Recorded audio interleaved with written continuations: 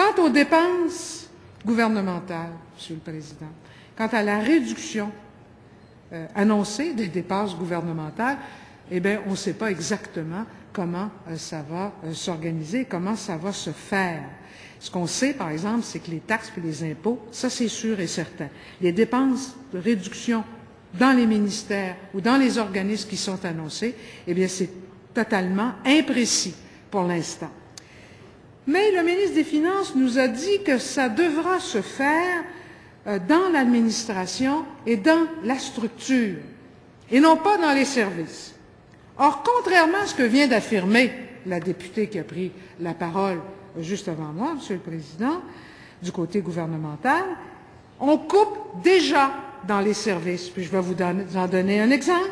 On vient d'abolir 31 classes de francisation pour les nouveaux arrivants, pour une économie de 5 millions de dollars qu'on n'a pas voulu trouver, bien évidemment, à l'intérieur du ministère, parce que c'était ça le choix, j'imagine, à l'intérieur de la structure, à l'intérieur de l'administration, plutôt que de couper 31 classes. Monsieur le Président, le Québec, il y avait, dans toute sa diversité, 2000 nouveaux arrivants, surtout des jeunes, 2000 immigrants, lundi, qui sont venus devant le bureau de la ministre, réclamer haut et fort, à corps et à cri, donc ils sont venus devant les bureaux de la ministre à Montréal pour lui demander de reculer.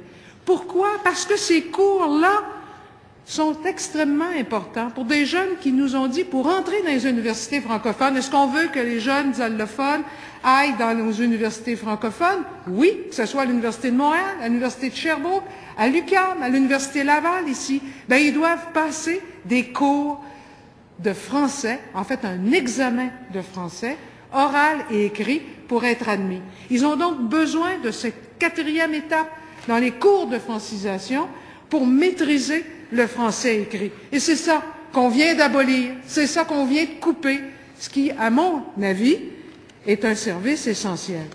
Cette demande de français de la part de ces 2000 jeunes nouveaux arrivants, 2000 jeunes immigrants, était franchement impressionnante.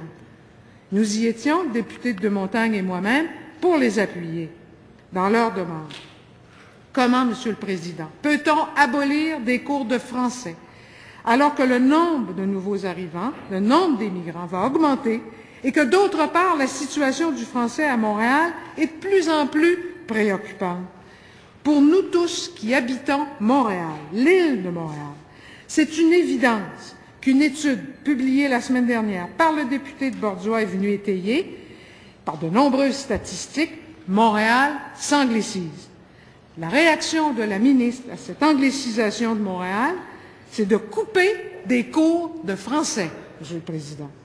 C'est incohérent, c'est illogique, c'est un service essentiel, je le répète, pour tous ces jeunes qui étaient présents à cette manifestation et qui nous l'ont dit, qu'ils l'avaient écrit sur des pancartes et qui demandent donc à la ministre de l'Immigration de réinstaurer ces cours de français.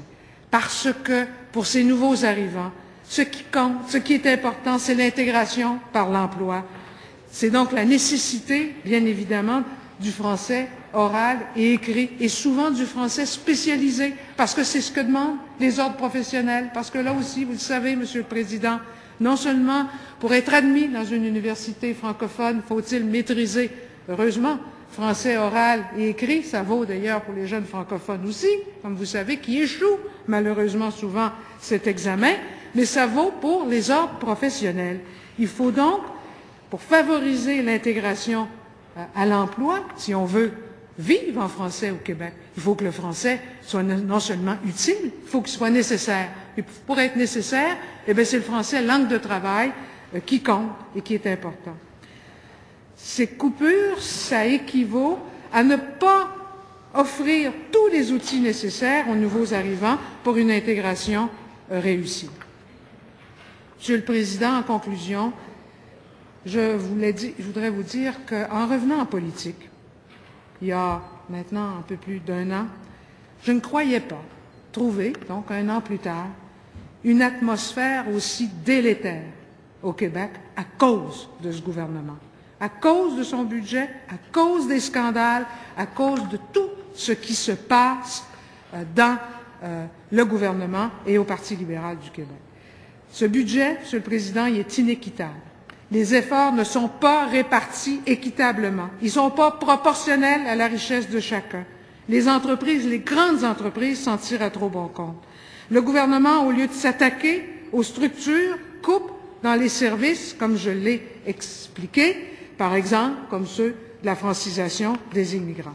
C'est ça, Monsieur le Président, le budget libéral 2010-2011, un mauvais budget qu'il faut combattre et contre lequel nous allons voter, nous, de l'opposition officielle à l'Assemblée nationale. Merci.